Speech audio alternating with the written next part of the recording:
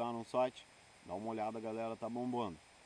Pessoal, eu tenho dois agradecimentos para fazer. Não poderia vir para o mato e não fazer um vídeo em relação a isso. Primeiro, é um presente que é uma faca de pescoço que o Baldo me mandou, é, artesanal. Ele fez ele se inspirou no modelo da, daquela faca de pescoço, aquela Tiger, que acho que é uma faca que o Gil Toniolo tem.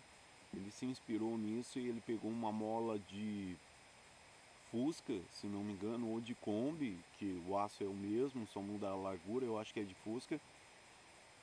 E forjou, forjou não, né? Ele só desbastou essa, essa faca.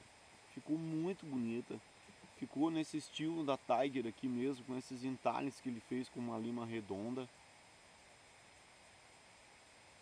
Do jeito que ele me mandou, é, eu trouxe ela para o mato, assim, só dei um trato no fio, lubrifiquei e tal, mas eu não quis fazer alteração nenhuma na lâmina. Eu passar um, uma corda, nada, eu achei que ela ficou muito boa.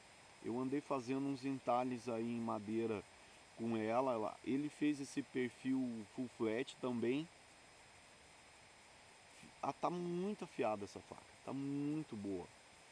É, eu tava com um galho aí para mim fazer entalhe, mas eu fiz entalhe com ela, esse aço é muito bom. Então ele não, ele não alterou a, a têmpera do, do aço da mola, ele manteve, mas ficou muito bonito. Então eu, eu precisava fazer esse vídeo agradecendo esse presente. Ela ficou robusta, ela ficou larga, no, a espessura dela ficou boa, eu não medi, mas acho que é 2 é ou 2,5, uma coisa assim, 2,5 eu acho. Mas ficou muito boa, um fio excelente, muito afiado. E feito artesanal, ele tinha feito isso para ele usar e acabou mandando aí de presente. Ele trabalhou, acho que essa, esse couro da bainha com cera de abelha, porque ela dá um encaixe perfeito ela não sai e mesmo assim como medida de segurança ele ainda botou uma travinha aqui ó e aí ele trava a faca e não sai de jeito nenhum galera eu admiro muito o talento das pessoas eu não tenho o dom para mexer com aço eu vou fazer um review de uma faca que eu fiz mas é, é, é para mim usar no mato então é bem rústica mesmo mas dessa faquinha, do, essa Tiger do Baldo ficou muito bonita, galera. Eu gostei muito do presente. Baldo, obrigado, irmão. Um abraço. Outra coisa que eu quero mostrar para vocês é esse soquetezinho que o Eduardo fez, o Vichinós.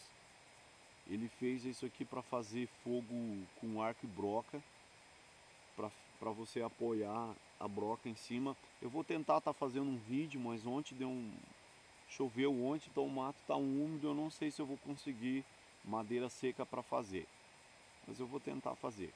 Cara, mas o talento do Eduardo é, é muito bom. Ele pegou um, um rolamentinho aqui e fez uma capinha de couro, trabalhou ela, ficou muito lindo, galera. Isso é muito bonito. Ficou tipo um, um chaveirinho e ele me mandou aqui com uma, com uma paracorde para pendurar no pescoço. Galera, eu gostei muito desse presente. A funcionalidade em si é inquestionável, mas o que me admirou muito é a própria beleza do, do, do material e o carinho com que ele faz as coisas. Isso é impressionante, galera. Ele faz isso por hobby, o cara pode vender isso aqui. Eu seria um cara que compraria um soquetezinho desse tão bonito que ficou, galera.